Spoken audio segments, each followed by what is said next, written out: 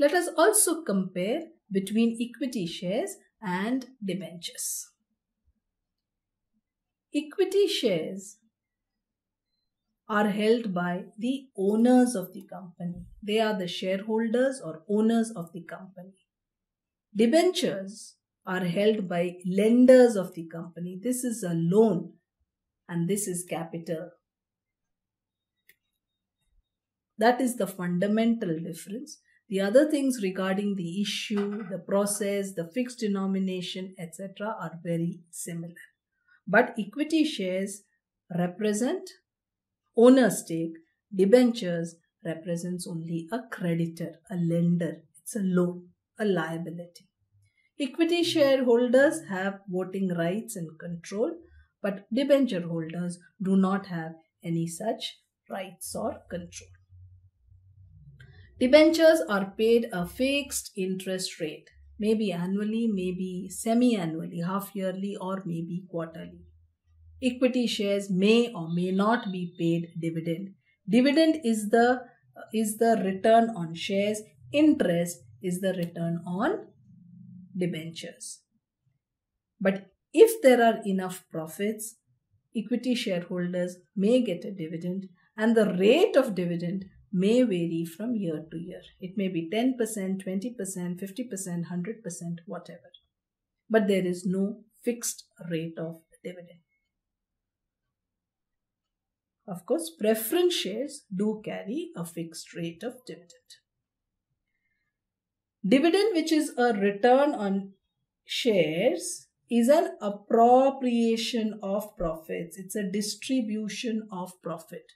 So dividend is paid only when there are profits. Interest, on the other hand, is a charge against profits. It is an expense. It is not an appropriation. It is an expense.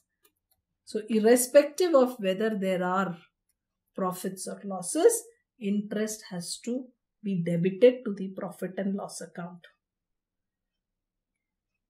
Equity shares are not converted to debentures whereas debentures may be converted into equity shares. We have some kinds of debentures called convertible debentures which could be converted to shares. Shares of course are a part of the shareholders or owners funds in the balance sheet but debentures come under long-term borrowing. Debentures are part of long-term borrowing. Debentures are redeemable. They have to be repaid after the fixed. If the debenture has a life of 5 years, they have to be repaid after 5 years, maybe 10 years, maybe 8 years, whatever. But equity shares are not really redeemable. Equity shares or equity shareholders are paid back their capital only on liquidation if there are surplus assets. Shares may be forfeited. The amount which is payable on an equity share may be payable in installments. For example, if a company issues a rupees 100 share, it may call for rupees 30 on application and rupees 20 on allotment and 50 on the final call. If that be the case, and if the all the calls are made, but a shareholder has not paid any one call money, let us say he has not paid this call money, first and final call money, his shares may be forfeited, which means his shares are cancelled the money which has been given by him, the 30 and the 20 which he has paid, that money is forfeited by the company.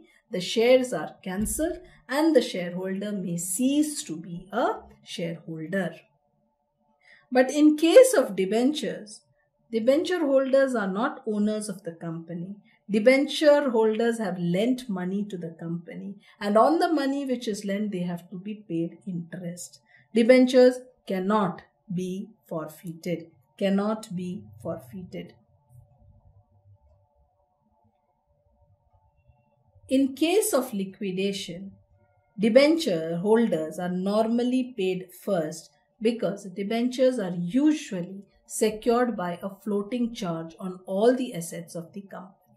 So once the assets are sold, in case of winding up, the proceeds are first used to pay off the debentures, then other liabilities which are not secured, and only then the shareholders are paid.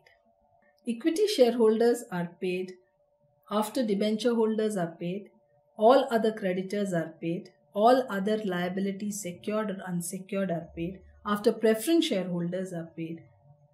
Only then, if there are surplus assets left, are the equity shareholders paid.